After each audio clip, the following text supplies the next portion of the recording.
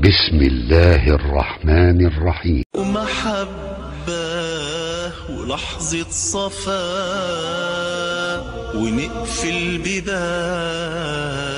في وش الشيطان بكلمة حنان وفيها الشفاء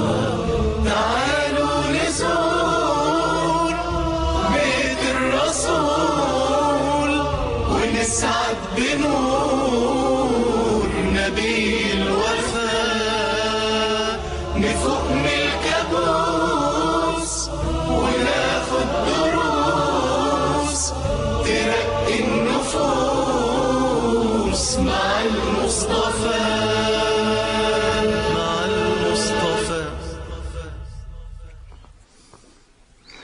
السلام عليكم ورحمة الله وبركاته. بسم الله والحمد لله والصلاة والسلام على رسول الله صلى الله عليه وآله وسلم. أما بعد فمرحبا بإخواني وأخواتي وأهلي وأحبابي. مرحبا بكم مرة أخرى مع ليلة في بيت النبي. وأسأل الله جل في علاه الذي جمعنا في الدنيا على طاعته أن يجمعنا في الآخرة مع سيد الدعاء وإمام النبيين حبيبنا المصطفى صلى الله عليه وسلم في جنته ودار مقامته. إنه ولي ذلك والقادر عليه. بحبكم في الله وحشتوني جدا ربنا يجمعنا دايما على الخير يا رب العالمين. والنهاردة لقاء خاص جدا جدا إن شاء الله. زيارة خاصة هنستمع فيها الإجابات على أسئلة الخطاب زي ما بيقولوا في حلقة بعنوان حوار مع خاطب الجزء الرابع. تعالوا نزور بيت الرسول ونسعد بنور نبي الوفا صلى الله عليه وسلم. حس بالمعنى إن أنت داخل بيت النبي صلى الله عليه وسلم بكل هدوء وأدب وسكينة. هتشوف النبي وكأنك بتشوفه لأول مرة بأبي هو وأم وأمي.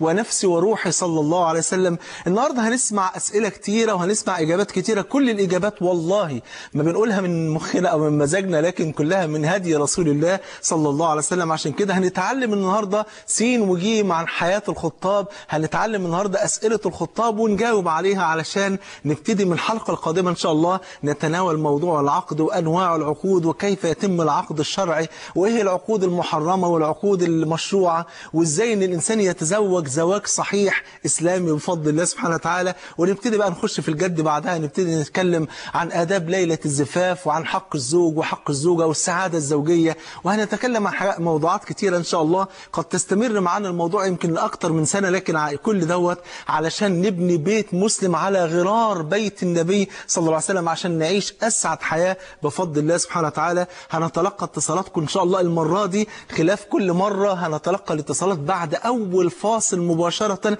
هنتلقى اتصالات حضراتكم وكل أسئلة النهاردة عن موضوع الخطبة؟ صلى على حبيبك صلى الله عليه وسلم. تعالوا نشوف أول سؤال.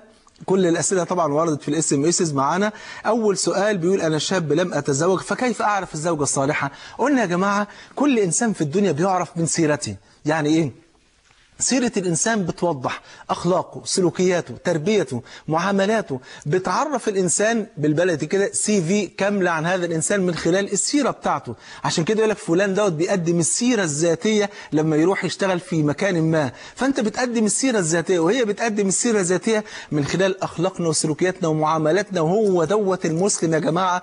كان النبي حينما يسأل عنه صلى الله عليه وسلم لما الناس كانوا يسألوا أمنا عائشة كيف كان خلق النبي صلى الله عليه وسلم؟ فتقول للسائل هل قرأت القرآن? فيقول ما بين دفتي قرأته من الجلدة للجلدة فتقول كان خلقه القرآن بأبي هو وأمي ونفسي وروحي صلى الله عليه وسلم.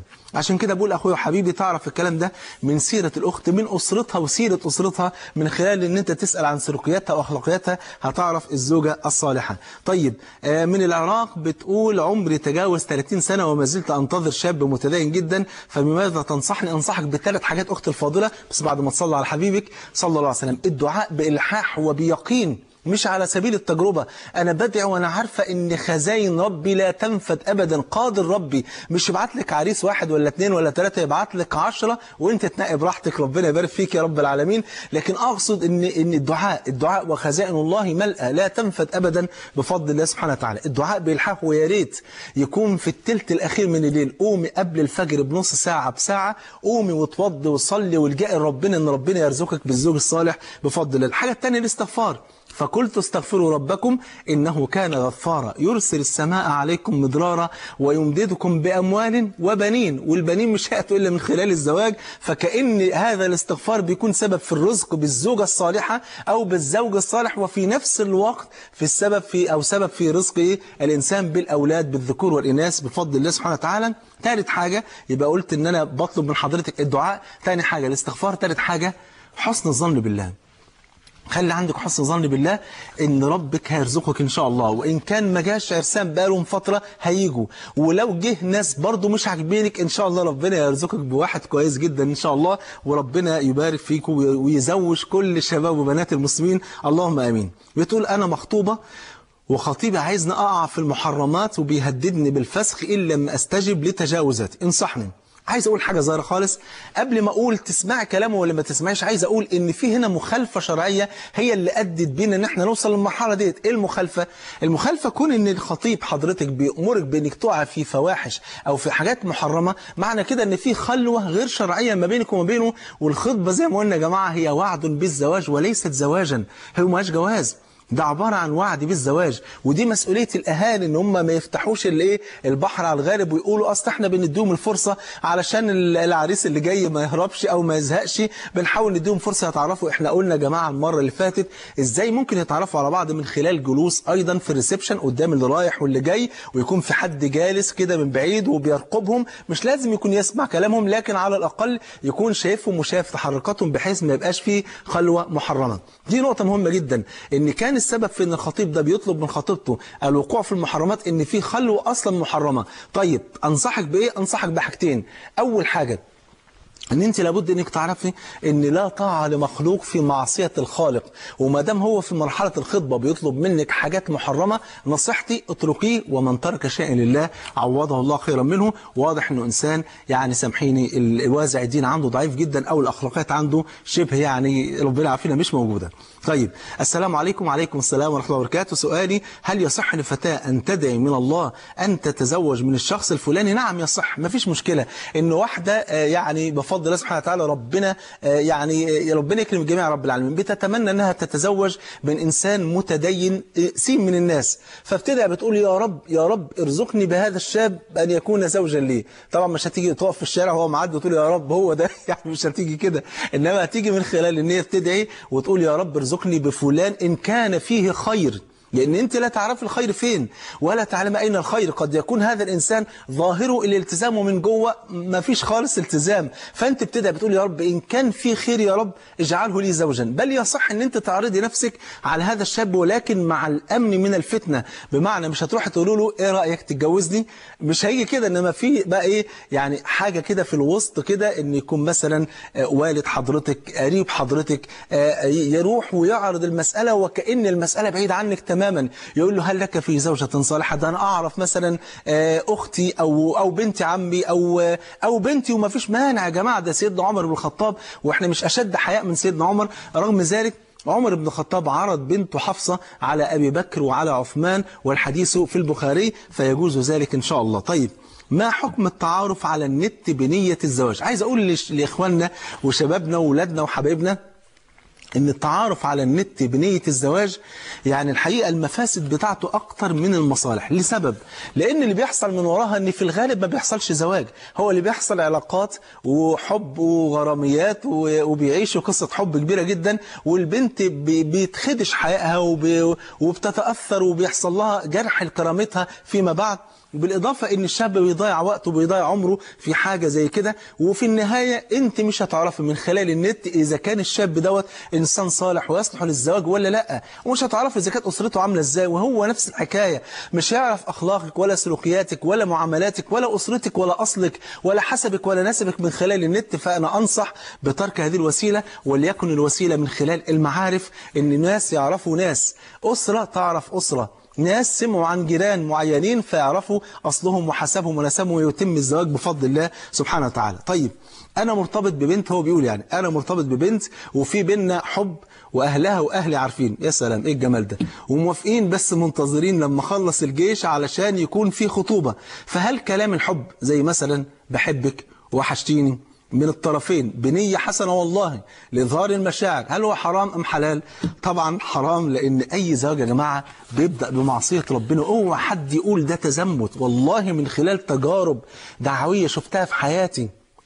على مدى 18 سنة دعوة شفت إن أي زواجة في الدنيا كلها يا جماعة بتبدأ بمعصية والله الذي لا إله غيره بتنزع البركة من هذه الزواجة. فأنا بكلم حبايبي اللي قدامي إن هم إخواني وحبايبي ويعني وخايف عليهم ونفسي يبدأوا حياتهم عشان يعيشوا عيشة صح بفضل الله زي ما النبي عاش هو والصحابة رضي الله عنهم وأرضاهم. وبعدين في حاجة يعني ال- ال- اللي بيقول مثلا طيب الأهل عارفين والأهل عارفين. يعني معقول إن يكون الأب والأم عارفين إن بنتهم ماشية مع الابن الجيران مثلا أو أو سين من الناس وعارفين ومبسوطين وبيقولوا لما يخلص جيش إن شاء الله ويتقدم؟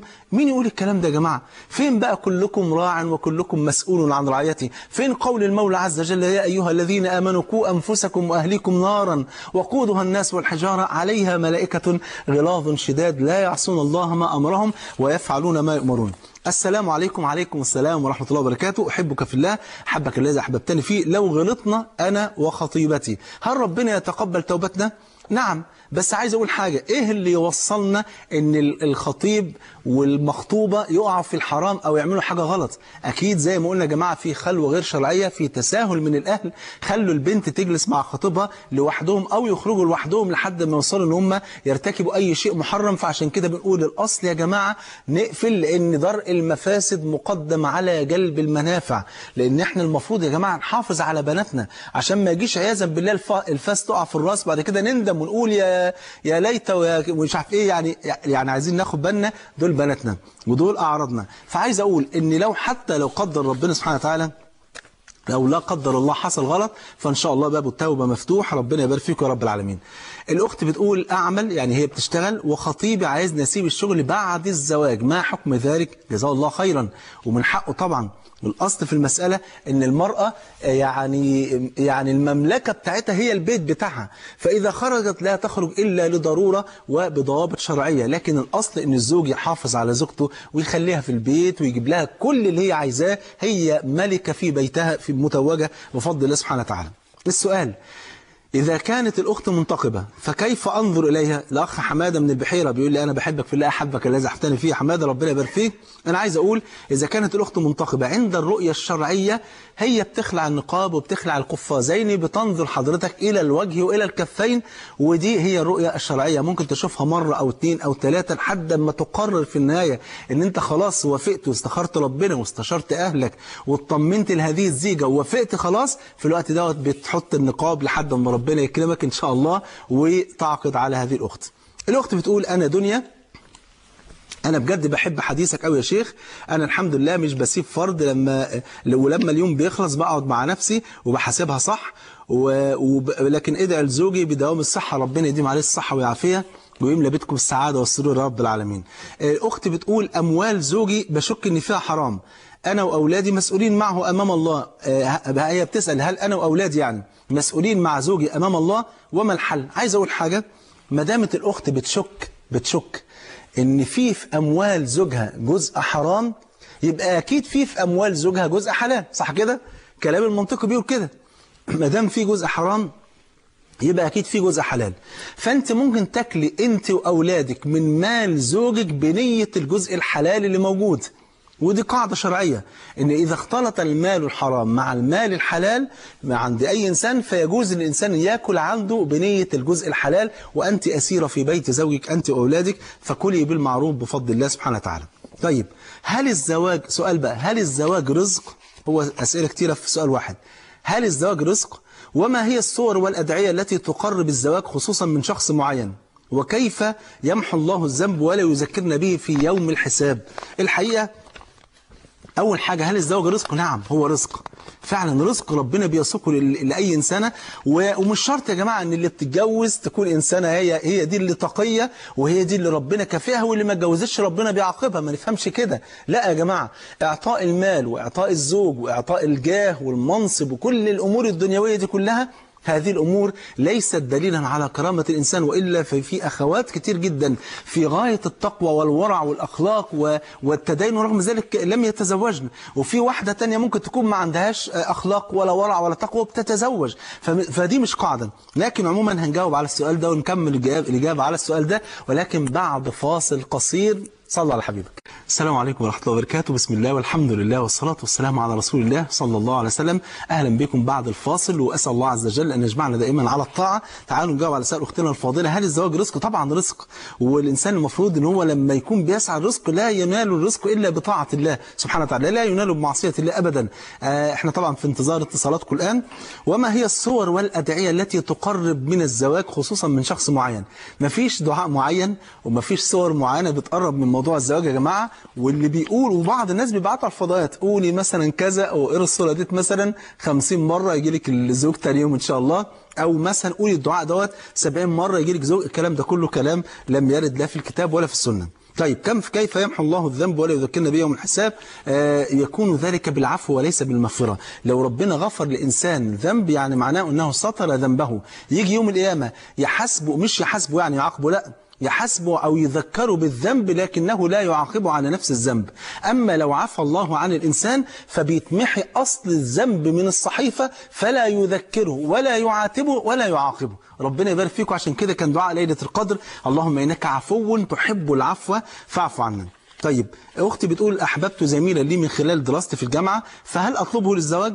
لكني لم أتكلم معه إلا في الدراسة من خلال المشروع في الدراسة وأنا براعي الله سبحانه وتعالى في كل تصرفاتي. عايز أقول خلي حد هو اللي يعرض عليه الأمر ويكون الموضوع من خلال حد في الوسط كده وما. ما يذكرلوش إن دي رغبتك أنت إنما هو مجرد عرض منه عشان ما يحطكيش موقف حرج وإن وافق فخير وإن ما وافقش فربنا يبدلك خيرا منه إن شاء الله أخ بيقول أو أخت بتقول أنا خطيبي لحوح جدا وبيقعد يقول لي إني مش بحبه لإني مش بقول له كلام حب. قلنا يا جماعة الخير إن الخطبة وعد بالزواج وليست زواجا فالأصل إن كلام الحب ده يتقال بعد العقد إنما قبل العقد يكون يعني كلام محترم ومهذب وفي وجود المحارم علشان ما يبقاش فيه معصية يعني عياذا بالله تنزع البركة من الزواج. آه، أخت أو أخ بيقول بعد الاستخارة وبعد الخطوبة هو يقول بعد الاستخارة وبعد الخطوبة ظهرت إنها عنيدة جدا وتميل إلى السيطرة ماذا أفعل؟ حاول تخلي أهلها يفهموها إن, إن, إن الرجال قوامون الرجال قوامون على النساء وإن هي لابد إن هي تحفظ قوامة زوجها وإن هي تاخد بالها إن ما ينفعش تكون عنيدة ولا مسيطرة لأن مش ينفع اتنين رجالة يعيشوا مع بعض في بيت واحد لازم يكون راجل وامرأة ما ينفعش اتنين رجالة فإن لم يعني ترتدع وفضلت على عنادها وحبها للسيطرة فاهرب بجلدك يا أمور. يعني هو ده الحل الوحيد وربنا يبدلك خيرا منه إن شاء الله. آه بيقول أبوها مش موافق وهي عايزاني أتجوزها من ورا أبوها وهي جنسيتها جنسية أخرى يعني جنسية من بلد تانية. ماذا أفعل؟ لا يجوز لأنه كما قال النبي صلى الله عليه وسلم لا نكاح إلا بولي وشاهدي عدل. لا نكاح لا يصح أصل النكاح إلا بولي وشاهدي عدل. فما ينفعش يا جماعة إن واحدة تجوز نفسها خدوا بالكم عشان المفهوم ده آه، للأسف الشديد منطبع عند بعض الناس. إن بيقولوا إن البكر لازم أبوها يجوزها إنما الثيب خد بالك بقى إنما الثيب يجوز إنها تجوز نفسها. لا يجوز أصلا لا للبكر ولا للثيب لا للأرملة ولا للمطلقة. ما يجوز لاي واحدة منهم تجوز نفسها بغير ولي. لا. أمال إيه حديث ال- البكر ال- الثيب تستأمر والبيه والبكر آه، آه، والبكر تستأذن. فقالوا قالوا معنى الحديث إن ال- ال- الثيب خلاص هي امرأة, امرأة جربت الرجال. فعندها من الجرأة آه، ما يجعلها إنها تقول أيوه موافقة أو رافضة. إنما البكر تستحي. أول مرة تطلع على الرجال. فلما يجي لها حد يتقدم لها مش لازم تقول أنا موافقة. قالوا فما إذنها يا رسول الله؟ قال إذنها صمتها. لو سكتت وبصت في الأرض كده واتحرجت فده معناها إن البكر إيه؟ موافقة. أما الثيب فلا بد أن تنطق وأن تتكلم. إنما تجوز نفسها ما ينفعش إنها تجوز نفسها. طب معانا تليفون. أستاذ محمد من مصر. السلام عليكم. السلام عليكم. أستاذ محمد. طيب. آه بيقول آه مدى أو هي بتقول مدى صحة فك الأعمال لأسباب تأخير الزواج. يا جماعة عايز أقول حاجة. لازم يكون عندنا يقين في الله سبحانه وتعالى ويكون عندنا يقين إن مفيش حد في الدنيا هيمنع عننا رزق جاي لنا بعمل أو بسحر أو أو وقف حال زي ما بيقولوا. الكلام ده كله كلام غير منطقي. يعني قد يكون هناك مثلا سحر إن الإنسان ممكن يحصل له آه، أعراض معينة يمرض يتعب يفقد شيء من الذاكرة يجي له سحر تخييل آه، يجي له سحر المحبة سحر تفريق. إنما عشان توصل لمرحلة إنه يمنع رزق جايني ده محال يا جماعة ده محال إن إنسان يعمل لي عمل عشان أنا ما أتجوزش أو يعمل عمل لفلانة عشان ما يجيلهاش عرسان ابدا. آه ممكن يعمل بعد كده بعد ما هي تتجوز يعمل عياذا بالله ربنا يعافينا ويعافيكم سحر تفريق. سحر إيه؟ تفريق. أو يعمل سحر محبة. آه، يعمل سحر بين هذه الزوجة وبين واحد تاني خالص غير زوجها. آه السحر ده ممكن يتعمل بالمنظر ده إنما عشان يعمل سحر ابتداء عشان يمنع الزواج فهذا لا يكون ابدا بفضل الله سبحانه وتعالى. لو أنا واحدة منتقبة بتقول لو أنا واحدة منتقبة وتقدم لي واحد هكشف وشي وإيدي بس أطلع بإيه؟ ألبس العباية ولا الإسدال ولا إيه؟ وبعدين سمعت هي بتقول وبعدين سمعت إنه لو طلب يشوف المعصم وحتة من الرجل يبقى عادي. هل ده صحيح؟ لا مش صحيح. الصحيح هو الوجه والكفين لكن عايز أقول حاجة وربما وسامحوني ربما يخالفني بعض الناس في هذا الرأي. لكن من خلال برضو تجارب الناس ومن خلال التعايش مع مشاكل الناس شايف إن الموضوع منطقي. هو رايح لأخت عارف إنها مختمرة أو عارف إنها منتقبة. وهو ممكن يكون شافها في الشارع 100 مرة وهي خارجة بنقابها وراجعة بنقابها فلو راح عشان يتجوزها لا مانع. أنا بقول لا مانع. وسامحوني أنا عارف إن ممكن حد يعارضني لكن أنا شايف إن ده للمصلحة. لا مانع إنها تلبس لبس محترم. مش لازم يكون جلباب واسع جدا جدا زي اللي بتخرج بيه. ممكن تلبس لبس يعني إلى حد ما له واسع قوي وله ضيق قوي يعني حاجة كده محترمة حاجة تكون برضو شيك في البيت. وتلبس عليه الطرحة اللي هي تلبسها وتبقى خلع القفازين وقاعدة في البيت في وجود المحارم على أساس إن دوت ممكن يكون سبب في ترغيب هذا الشاب من الزواج من هذه الفتاة الصالحة. وهو في النهاية عارف إنها لما بتخرج من بيتها لابسة نقابها ولابسة حجابها أو لابسة خمارها فبالتالي هو عارف هي أصلا بره شكلها إيه. لكن هي لبست هذا اللبس في هذا الوقت علشان فقط يبقى فيه فرصة إن هو يقدر يشوفها يشوفها في أبهى وأجمل صورة. وده أنا عارف إن رأيي ممكن يخالفني في ناس لكن أنا شايف إن رأيي منطقي. أنا ما بقولش إنها هتلبس آه، آه، استريتش ولا هتلبس آه، جيبة قصيرة ولا هتلبس لبس مكشوف يا جماعة. أنا كل ما في الأمر بقول تلبس لبس جميل ومحتشم ويكون واسع إلى حد ما لكن وكشف فقط الوجه والكفين فقط. عشان ما يجيش واحد بكرة يقول لك ده الشيخ محمود طلع بيقول تطلع بره لابسة استريتش ولا لابسة باضي. أنا بقول لبس محترم وعليه الطرحة وخلع الجوانتي يعني بالبلدي الوجه والكفين لكن لابسة لبس جميل يخلي هذا الشاب يشوفها في صورة جميلة. الأخت ندى من الأردن السلام عليكم. السلام عليكم. وعليكم السلام. عليكم السلام ورحمة الله وبركاته. يا أهلا وسهلا. آه لو سمحت دكتور بدي اسال سؤال بالنسبة آه، حكي حكيت عن الفحوصات الطبية من قبل الزواج الحلقة الماضية. معلش الصوت مش واضح يا اخت ندى لو بس آه، نوطي الصوت شوية شريف ممكن؟ اتفضلي. أو اسمع حتى الصوت من لو الاستوديو. سمحت بدي آه اتفضلي. لو سمحت بدي اسال عن. آه عن الفحوصات الطبية اللي حكيتها قبل الزواج. آه الاختبارات الطبية. آه نعم. آه آه التحاليل الطبية. نعم. نعم. مالها مالها يا آه اخت اللي حكيتها في الحلقة الماضية. آه، يا- في دكتور أنا شفت حالات مثلا آه، بتكون مثلا أمراض خلطيه بتكون غير ظاهرة بتكون في الجسم مثلا فقرة غير كامل نموها أو مثلا هيك أنا مش عارف الصوت في حاجة يا أستاذ شريف معلش. آه طيب أنا عموما هقول لحضرتك على موضوع التحليل يا اخت ندى لأن أنا الحقيقة الصوت مش واضح عندي خالص. ومش واضح عند حضرتك. طيب. آه فعلا هو موضوع التحاليل الطبية إحنا قلنا يا جماعة يجوز إن يتعمل تحاليل طبية. قبل الزواج الأخت بتروح مع محارمها إلى عيادة دكتوره من الدكاترة وتعمل عندها التحاليل ديت والأخ بيروح لوحده يعمل التحاليل وبعد كده يلتقي الأخ مع محارم الأخت الفاضلة ويشوفوا التحاليل إذا كانت صالحة ولا لأ. إن كان في عيب عند الأخت والأخ موافق على الزواج فبها ونعمة عين. إن كان في عيب عند الأخ وهي موافقة على الزواج فبها ونعمة عين. إن كان في عيب ومحدش موافق يبقى من باب الأدب والأخلاق والسلوكيات الإسلامية الراقية إن محدش يروح يبره يتكلم في حق التاني ولا كلمة ويقول ما حصلش نصيب وخلاص الأخت إيمان السلام عليكم. السلام عليكم. عليكم السلام ورحمة الله وبركاته. ازيك شيخ محمود؟ يا أهلا وسهلا. عامل إيه؟ الله يعزك ويبارك فيك. جزاك الله خير عنا ربنا يخليك ويعزك يا رب. آه ربنا يكرمك يا رب ويجوزك ويجوز كل شباب المسلمين وبنات المسلمين. الله يخليك يا شيخ. اتفضلي يا أخت إيمان. أه، هو في سؤال بس ممكن العريس يرزق يعني مراته يعني خطيبته مرة واحدة. يعمل إيه؟ كده يعمل استخارة. معلش كده- معلش السؤال من أوله تاني كده أختي أختي إيمان. يعني واحد تقدم لخطبة واحدة. أيوه. وعمل استخارة. أيوه. أه، فيعني وافق على يعني لقى الرؤية في مناسبة. نعم. فممكن يشوفها ال- الرؤيتين الشرايطين الباقيين؟ آه بس يكون ما قالش رأيه. يعني يعني يشوفها أول مرة ويقول طب يا جماعة آه، أستأذنكم أنا محتاج زيارة تانية بس عشان أسعد برؤيتكم. ويروح الزياره التانية ويروح ويسعد برؤيتهم. في الزيارة الثالثة ولا الرابعة بالكتير لازم يقول رأيه لازم يقول رأيه. فإن قال رأيه وقال الحمد لله استخرت ربنا وأنا موافق في الوقت ده ما يشوفهاش تاني إلا بعد العقد مباشرة. طبعا ده لو كانت منتقبة لو كانت مختمرة فهو بالتالي يعني ممكن بعد الخطبة زي ما قلنا يا جماعة قد يجوز له آه، إن هو يروح في أوقات متفرقة ومتباعدة من أجل إن هو بس يعني يقرب وجهات النظر ويجلس في وجود المحارم في مكان مكشوف زي ريسبشن أو غير ذلك ويبتدي يتكلم في أمور منطقية فإن خلاص استقر على الأمر إن هو فعلا استريح ان دي تكون زوجته يعقد عشان ربنا يكرمه ويبقى الجلسة بعد كده إن شاء الله كلها في الحلال. طيب. اتفضلي يا أختي إيمان. بالله عليك يا شيخ ادعي ادعي بارتداء النقاب. ربنا يرزقك النقاب يا رب العالمين ويرزقك العمل به إن شاء الله. ربنا يحفظك أختي إيمان.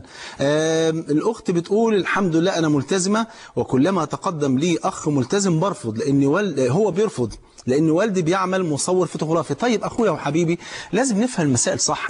هي لو والدها شغال في أي شغلانة سواء كانت شغلانة فيها شبهة أو حتى شغلانة آه، فيها حرام أفترض إن هو شغال في آه، شغلانة ربوية أو شغال في شغلانة عياذا بالله أي حاجة. هي ذنبها إيه؟ هي أسيرة في بيت والدها. خدها يا سيدي وما تخليش والدها يحط في بيتك مفتاح.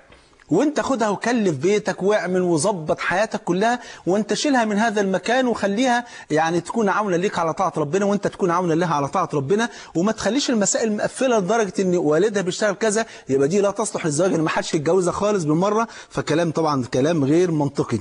طيب هل يجوز الجلوس مع شاب متقدم لي في وجود والدتي فقط في مكان عام؟ لا طبعا لأن الوالدة ليست محرما لك لازم إذا كان هيقعد معاكي في مكان عام أو في مكان بس مكان عام إزاي؟ يعني مثلا في الشارع يعني؟ يعني أقصد لو في مكان مقفول أو في مكان آه، يعني مطعم في غرفة مثلا ولا حاجة يكون محرم معاك مع الأخت يكون أخوها أو أو والدها. إنما مش مش هكون. أو مثلا في مكان يعني يعني إلى حد ما مش ما حدش مطلع عليكم قوي في أي مكان بس يكون معاكي محرم. أخوك أو والدك لازم يكون ذكر وكبير في السن وبالغ وعاقل آه، عشان يكون محرم لك أما الأم فليست محرما لك لا الأم ولا الأخت.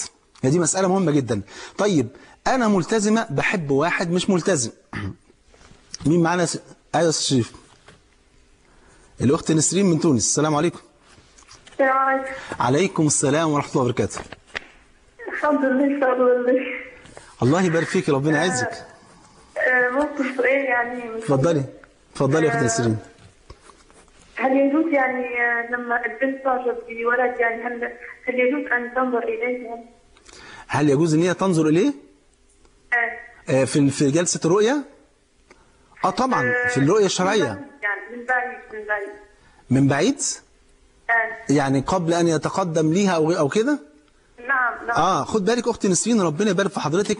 آه إن الأصل في في في المواضيع دي كلها الأصل هو غض البصر. لا يكون النظر إلا من أجل الزواج. يعني لا يكون النظر إلا من أجل الزواج. بمعنى بمعنى الأصل عندنا قل للمؤمنين يغضوا من أبصارهم ويحفظوا فروجهم والخطاب يجي ليه؟ للمؤمنات. وقل للمؤمنات يغضضن من أبصارهن ويحفظن فروجهن. ده الأصل. أما لو كانت النظرة من أجل الزواج بمعنى هو هينظر إليها علشان يشوف هذه الأخت. فعلا ممكن تصلح إن أنا أتقدم ليها وأرتبط بيها أو أتزوجها. فيجوز لي في الوقت دوت النظر من أجل الخطبة وليس من أجل إن هو آه، نظرة شهوانية أو غير ذلك. نعم. جزاكم الله خير يا اخت نسرين. الأخت سالي من مصر السلام عليكم. السلام عليكم. طيب آه، أنا ملتزمة بحب واحد مش ملتزم.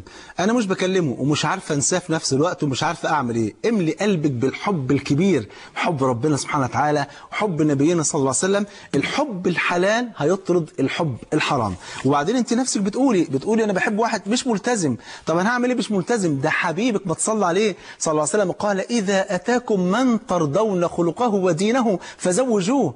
يعني الأصل إن أنا بختار واحد عنده دين وعنده أخلاق. بصرف النظر بقى هو ممكن ما يكونش أمور وما يكونش ستايل وعينيه مش خضرا وشعره أصفر وعامل شعره بالجل ومسرح حواجبه مش عارف إزاي. يعني الأصل هو التدين والأخلاق. هو ده اللي هيعيش معاك وهو ده اللي هتستمتع بيه. طيب بتقول أنا تزوجت من شاب كان بيدعي الدين والأخلاق. واكتشفت بعد كده إنه عياذا بالله زاني. وما زال على ذلك. أعمل إيه؟ يعني ده الكلام ده ده الكلام ده واضح إن هي تزوجت خلاص. الموضوع مش بقى في الخطبة بس. عايز أقول لأخت الفاضلة مدام الزوج وقع في مثل هذه الجريمة النكراء آه، في آه، وقوع في الفاحشة والزنا فأنت ما عليك إلا أن أنت تذكريه بالله مرة واثنين وثلاثة وأربعة وعشرة فإن امتثل فبها ونعمة عين وذكريه بذوق وبأخلاق وبمعاملة طيبة. حاجة تانية إن أنت تعب فيه ما هو ربما يكون العيب من الزوجة نفسها. ولو كان العيب من الزوجة نفسها يا جماعة الخير أنا مش معنى كده إن أنا بقول دي رخصة للزوج. لو زوجته مش بتعفه إنه يروح يزني لا طبعا.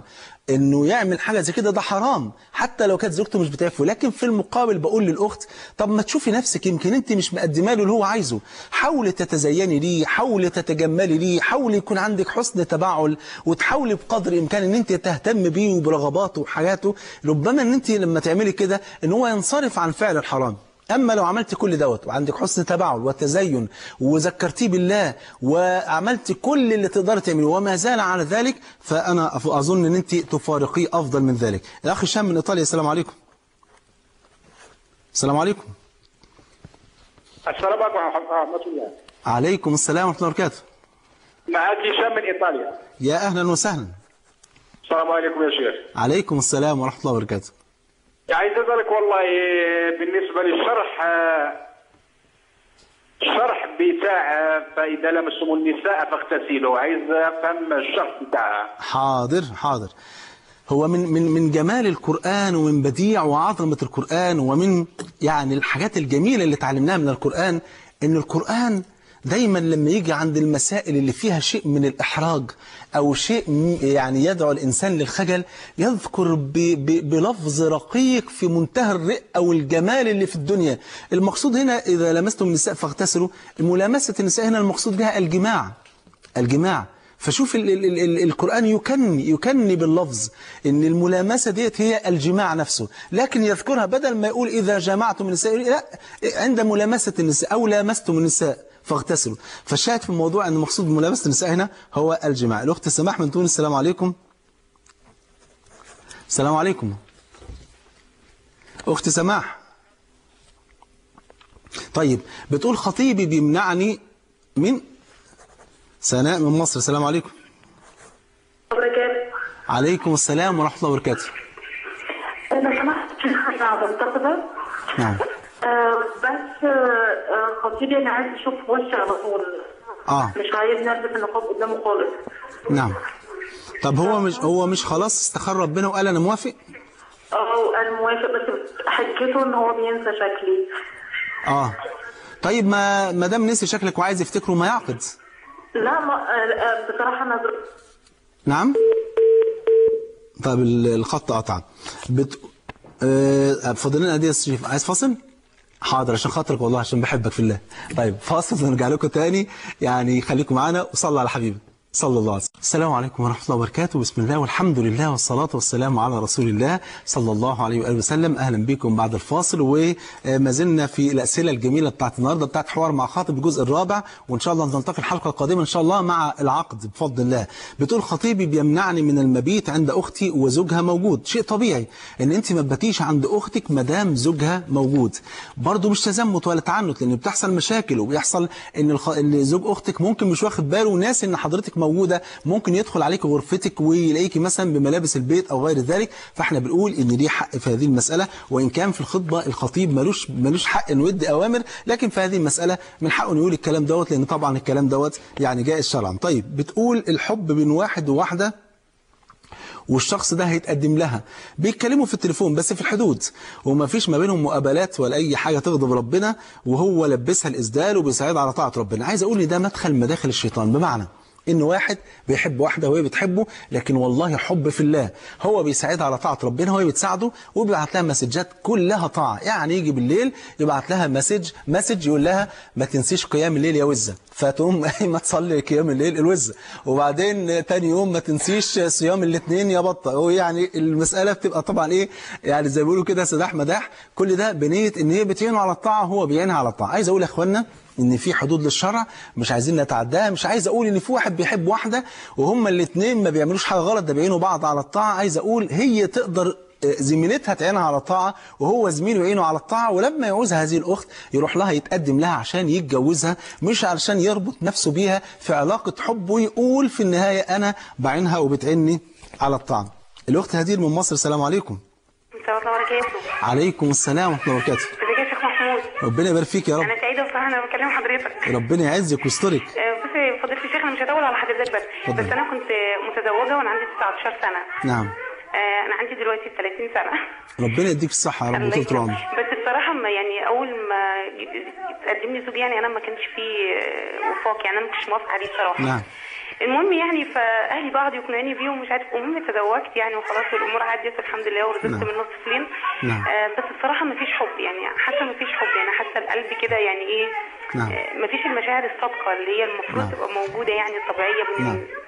نعم. من أي اثنين عايز أقول عايشة بس عايشة ومش حاسة إن أنا عايشة ومش عايشة يعني ف... ج... ج... لا جميل قوي إن أنت بتعترفي بالكلام ده عارفة يا أخت هدير عايز أقول حاجة هو ربنا جعل بين الزوجين المودة والرحمة أيوه الموده ديت بتبقى مشتعلة جدا جدا في فترة الخطبة والعقد وبداية موجودة أصلا من الخطبة. مش ما هو الأصل. ده الأصل إن أنت طبعا تختار واحد تكون عايزاه يعني. لكن بقول هي الموده الحب يعني المفروض إن يكون موجود في بداية الزواج. مش المفروض بقى يعني إيه بمعنى إن يكون في بقى تجربة عاطفية زي ما بعض الناس معتقدة إن الأصل في المسألة إن لابد إن يكون في تجربة عاطفية وماشي معاها خمس سنين وخطيبها سبع سنين وبعدين عقد عليها ست شهور وبعد إيه آه، ليلة الدخلة بثلاث أيام نكون مطلقين لا الموضوع مش كده خالص. إنما الموضوع إن يبقى في قبول وفي عاطفة تجاه الاثنين فالمودة ديت بتشتعل في وقت ما وإلى حد ما بعد يعني المعيشة مع بعض وخلاص قعدوا مع بعض وخدوا على بعض. ممكن تكون المودة بتنطفئ بعض الشيء لكن تبقى الرحمة.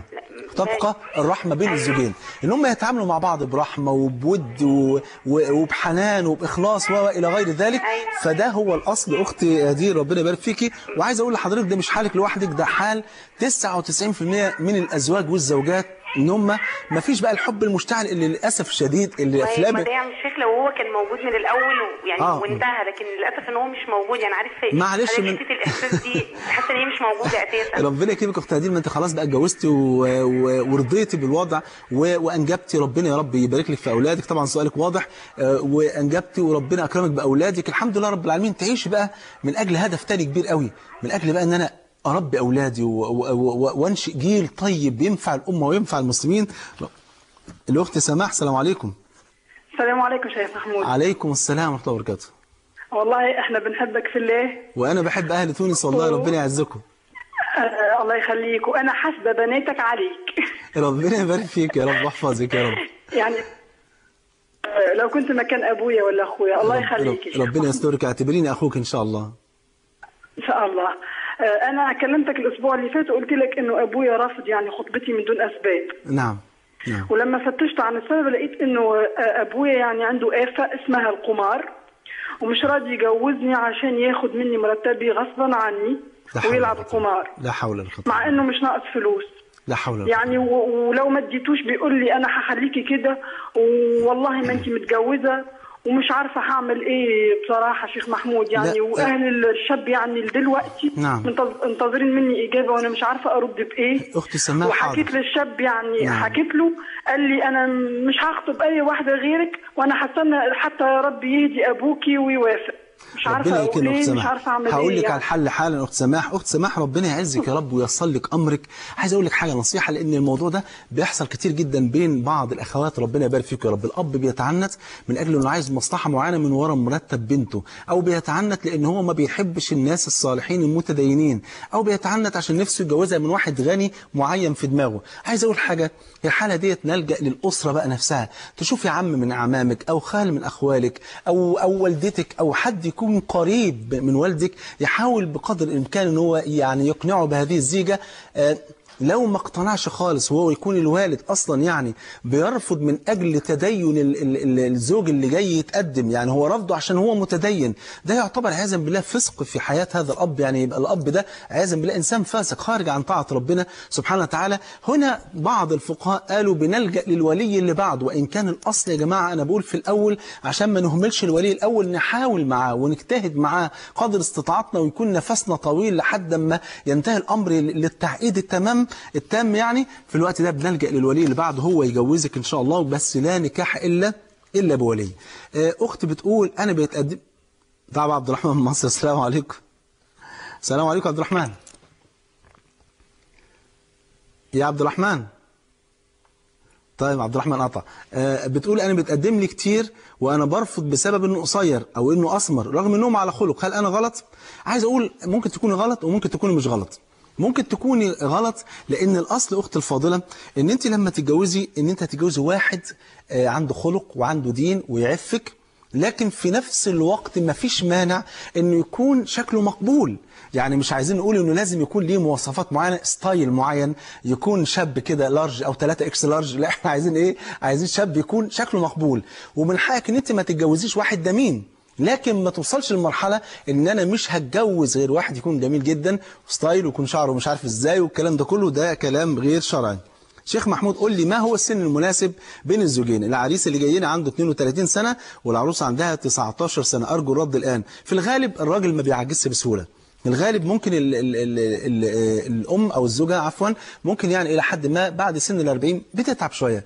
إنما الرجل ممكن يعني إيه يستمر إلى حد ما لحد ال 60 وما بعد ال 60 فيجوز إن أو أو مش عايز أقول يجوز ما هو يجوز في أي سن. لكن عايز أقول إنه ممكن يكون الفرق في السن من 10 ل 15 سنة ممكن تبقى خمس سنين ممكن ما يبقاش في فرق خالص. ممكن تكون الزوج أكبر من الزوج زي ما حصل مع أمنا خديجة والنبي صلى الله عليه وسلم. لكن عايز أقول ان ممكن يبقى مقبول قوي لو من سن 10 سنين أو من سن 5 سنين فرق لحد 15 سنة شيء جميل جدا. ولو كان هو شاب بقى وماسك نفسه وشكله يعني إلى حد ما مقبول بالنسبة لها وما فيش اختلاف في الآراء والأفكار ممكن يكون أكتر من كده. والمسألة مسألة يعني إيجاب وقبول ومسألة يعني عرض وطلب زي ما بيقولوا يعني. لو فترة الخطوبة طويلة ثلاث سنين ممكن يشوفها؟ قلنا يا جماعة الخير حبايب قلبي إن مفيش مصلحة ابدا من إن إحنا نطول فترة الخطوبة لأن فترة الخطوبة فترة تكلف. مفيش حد هيظهر على حقيقته إلا بعد العقد أو بعد الزواج فمفيش مفيش داعي إن إحنا نطول فترة الخطوبة لأن بيبقى فيها إرهاق شديد جدا على حياة أو على على حياة أسرة الفتاة. كل شوية استقبال لهذا الخطيب وكل شوية مشاكل وكل شوية واحيانا بيبقى مش أحيانا بيبقى كتير جدا في مشاكل وفي يعني معاصي بيقع فيها. أنا خطبت إنسانة بدون استخارة ولكن باختيار والدتي. هل أتم الخطوبة؟ ما دامت إنسانة محترمة ومتدينة وكويسة ما فيش مانع وبرضه تستخير ربنا عشان ربنا يوفقك لزوجة صالحة بفضل الله سبحانه وتعالى.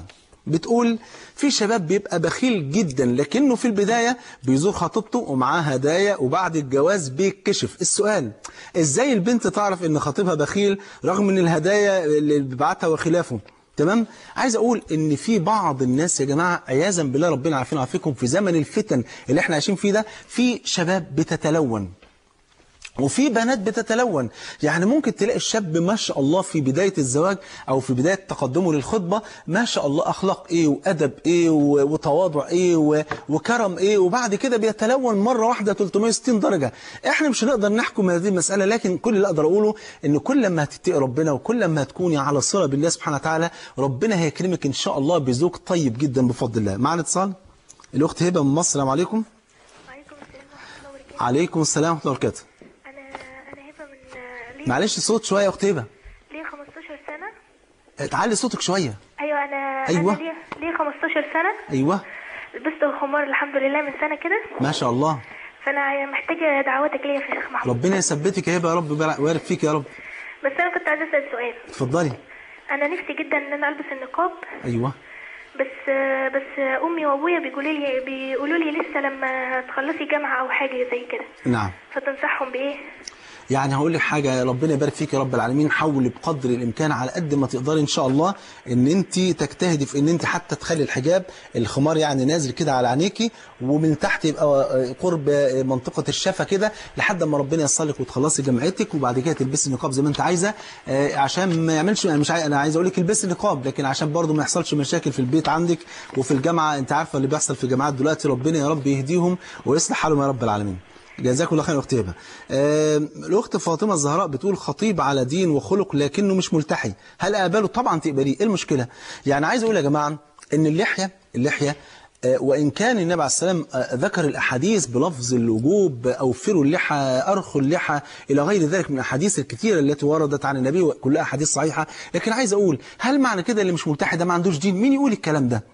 ممكن يبقى ملتحي وأحسن مني أل... ممكن يبقى مش ملتحي ويبقى أحسن مني ألف مليون مرة. فالشاهد في الموضوع ما دام إنسان عنده دين وعنده خلق اتجوزيه واقبليه وإن شاء الله ولعل وعسى بعد كده تسعدي بلحيته بعد كده بفضل الله سبحانه وتعالى. أخت خالد من مصر السلام عليكم. عليكم السلام وبركاته. عليكم السلام ورحمة الله وبركاته. عليكم السلام وبركاته. أيوه خالد. إزيك يا شيخ محمود؟ يا أهلا وسهلا. والله أنا عندي أسئلة بس بره عن ال- الحلقة خالص إحنا كنا عايزين أسئلة في الخطبة لأن عندنا أسئلة كتير قوي لسه ما خلصناش يا خالد. أنا ك... معلش ربنا يبارك فيك خالد ربنا يحفظك يا رب ويجمعنا وياك على حوض النبي. ادعي لي يا شيخ محمود ومش يا- رب- يثبتك. على يا- يا رب. يا رب يرفع عنك البلاء يا رب العالمين ويحفظك ويأجرك يا خالد ربنا يحفظك. الأخت فاطمة الزهراء بتقول آه ال- ال- الأخ أختي بتقول كيف أتجاوز أزمة فسخ الخطوبة؟ الرضا بالقضاء والقدر. وإنك تعرفي إن ربنا أرحم بيكي من رحمة الأم بطفلها الرضيع. وعايزك تقولي دايما لعله خير لعله خير. دايما كده خلي عندك تفاؤل كده. ورضا بقضاء ربنا سبحانه وتعالى ومش آخر الدنيا ومش نهاية العالم إن واحدة تتفسخ الخطبة بتاعتها أو تطلق قبل أن تدخل أو تطلق بعد أن تتزوج أو حتى بعد ما تخلف. دي مش نهاية العالم يا جماعة. في حاجات وفي طموحات وفي حاجات أغلى عندنا من الدنيا ومن اللي فيها. في عندنا رضوان ربنا يعني وفي جنة ربنا سبحانه وتعالى وفي حاجات كتيرة جدا عايزين نعيش لها بفضل الله. كيف تعرف الفتاة إن خطيبها لا يتكلف حسن الخلق؟ شيء طبيعي زي ما قلت لكم إن فترة الخطبة فترة تكلف. مش هنقدر نعرف هو هو ده الخلق بتاعه الحقيقي ولا هو بيتكلف. لكن عايز أقول حاجة حتى لو ظهر يا أختي بعد الزواج إن أخلاقه غير الأخلاق اللي كانت موجودة أيام الخطبة أنت بقى بحسن أخلاقك وبحسن التباعل وبالمعاملة الطيبة تقدري تاخدي منه أحلى حاجة وتخليه بفضل الله ينا- يبعد عنك الأخلاق السيئة. الأخت دينا من مصر؟ آه أنا كنت شغالة. أنا مش عارف أنا سامع السؤال من نصه. آه، أختي أيوة. دينا السؤال أيوة، اول معلش.